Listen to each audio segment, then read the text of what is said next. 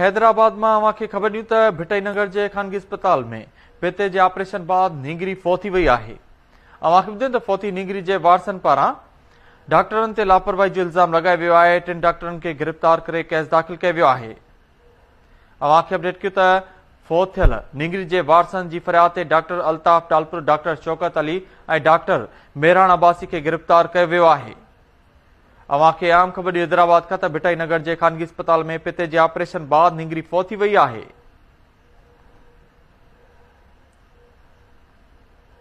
photo निंगरी जे वारसनि पारां डॉक्टरनि ते लापरवाही जो इल्ज़ाम लॻायो वियो आहे जॾहिं त टिनि डॉक्टरनि खे गिरफ़्तार करे केस दाख़िल कयो वियो आहे पुलिस पहुतल नीगरी जे वारसनि जी फ़रियाद ते डॉक्टर अल्ताफ़ टालपुर डॉक्टर चौकत अली ऐं डॉक्टर डॉर मेराणबासी खे गिरफ़्तार करे वरितो आहे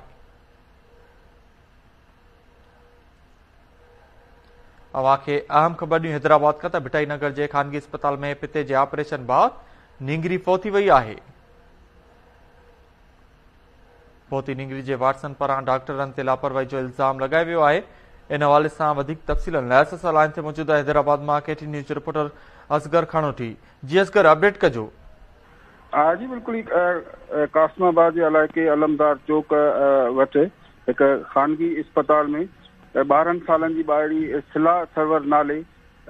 ऑपरेशन दौरान फोत थी वई आहे जॾहिं त वालिद ग़ुलाम सरवर भिटाई नगर थाणे ते डॉक्टरनि ख़िलाफ़ जिन में डॉक्टर अल्ताफ़ हुसैन तालपुर आहे डॉक्टर शौकत अली आहे ऐं डॉक्टर महरान अब्बासी आहे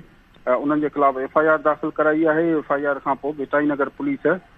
टिनी डॉक्टरनि खे गिरफ़्तार करे वरितो आहे ऐं पुलिस जो चवणु आहे त वधीक जांच करे रहिया आहियूं इन हवाले सां फोत थियल बारी जे पीउ